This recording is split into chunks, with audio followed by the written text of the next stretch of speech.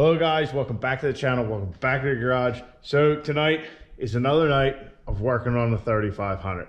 So tonight, as you can see, I'm in, in a regular sweatshirt. Well, that's because it's above freezing for once on this little project. Um, but the sun is rapidly going down and as soon as it's down, it won't be because it is barely above freezing. But we got a little project here in the garage before we get out there. Um, but as you can see, it's been cold. The snow from when we pulled the night we pulled the transmission out is uh, still all over the place. So our parts did come in for the truck, um, our rear main seal and our cam seal. One nice thing about these trucks, and if you ever get like an aftermarket valve cover, make sure you record the engine um, serial number. I guess they call it uh, the e ESN, I think it is, engine serial number. Yeah, that makes sense. Uh, duh. Anyway, make sure you record that number. It's right here on the valve cover. So that way, when you call a place like a shop that does work on Cummins, um, or like even a place that has, you know, does big rig work, somebody who deals with Cummins, they use that number and they can get any part for your engine and it's the right part. So just make sure you keep that in your records. So here's our parts. We got our main, rear main seal. We got our cam, um, cam O-ring. That goes right here on the uh, adapter plate. Now, whenever I've pulled any of these out, they've always been, not that I've done that awful many, but they've always just been the O-ring. Well, I throw a little silicone on either side of it just to make sure we have a good seal or even a better seal. So the other box is our rear main seal from Cummins. But, uh, come on, get off. But, uh, so as you can see, I should say, it does it is the same size as the old one, but there's a little problem. There's nothing else in here. So I must have, or I should have, I should say, probably should have ordered like a gasket kit or a rear main seal kit um, because there's no gasket for here. But that's okay. We got some right stuff silicone. We're just going to silicone this to the block. It should provide a good seal. Um, right stuff says it's supposed to be better than a paper gasket, but we'll find out. But as you can see here, I actually made a gasket for the bottom, and we will right stuff that too. But I made a, a gasket out of Garlock. Now, most time Garlock is green. This is a just a little faded. I don't know why. But anyway, so as you can see, I made a gasket for here. And the thinking is there, the bottom of this thing um, was spaced up by the gasket that much. And I'd rather have this thing sitting centered or at least where it was rather than possibly pulling it down a little bit and it not sitting center on the crank.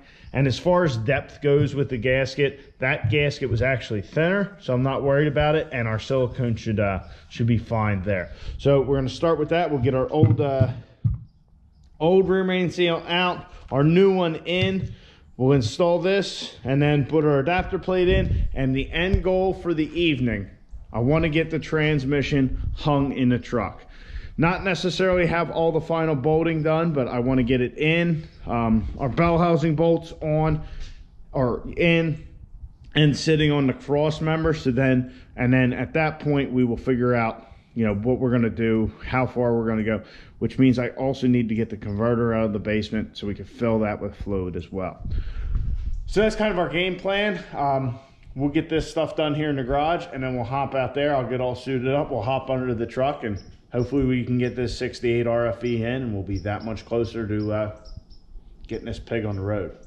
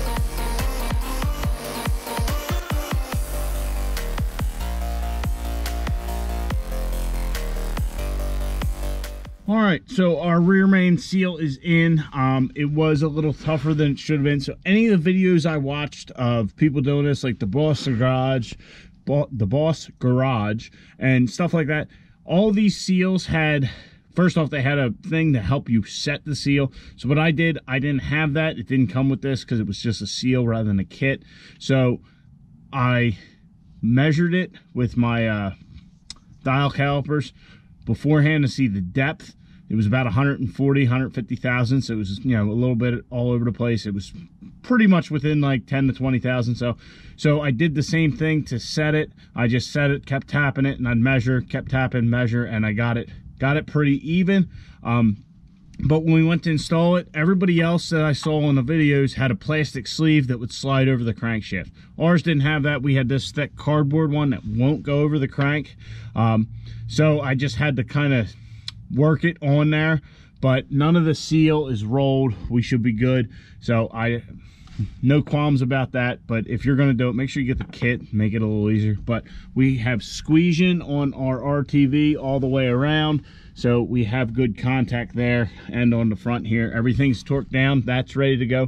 So now we'll get our adapter plate in. We'll put a little rtv over our uh, cam area where it's going to go on the uh, adapter, get our adapter bolted down, we get our starter in, we get our flywheel or flex plate in, and uh, yeah, we'll just keep rocking and rolling.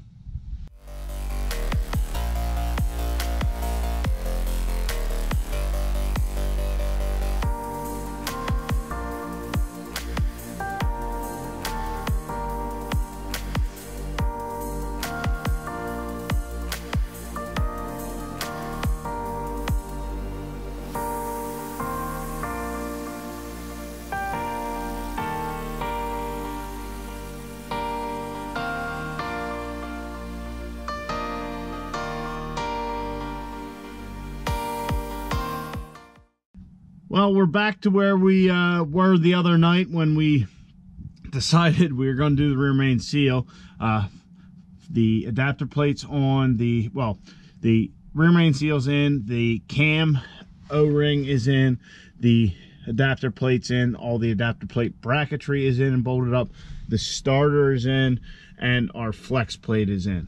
So uh, under here, I think we're ready to go. These uh, transmission cooler lines are going to be a bit of a pain, but uh, I have all the wiring pulled back and all to hopefully stay out of the way. Um, so hopefully we don't catch anything and we can get this thing right in there. Uh, we'll see how that goes. We might have to uh, end up lowering it on the jack stands, you know, put it on jack stands a little lower just to make it easier, but we will find out shortly. Also, while I was under there, I pulled some wiring back. So we have the little wire harness for our BD transcooler that we're pulling out and the 68 RFE pressure controller from BD. So I'm pretty sure this comes with all the BD transmissions, but we're going with a factory transmission in a factory um, form. There's going to be no tuning on it other than the off-road tuning, but no power added. Um, we're not going to do anything like that. We'll I got to find out how to work at Smarty. I've never had one, and uh, so we'll just make sure it's turned down all the way, and someone wants to turn it up from there, so be it. But uh, we're gonna leave it leave it factory form. But anyhow, the transmission's ready to go. We'll pull the dipstick off. I'll actually pull those cooler lines off for now, and also I have the torque converter that came off of this transmission up here from the basement. We're gonna fill that with a few quarts of fluid, slide that puppy onto the input shaft, and then slide this thing in under the truck. Hopefully we'll get this thing mounted up tonight. If we get a little more than that done, good. If not, we'll get her tomorrow. So uh, let's get this transmission in.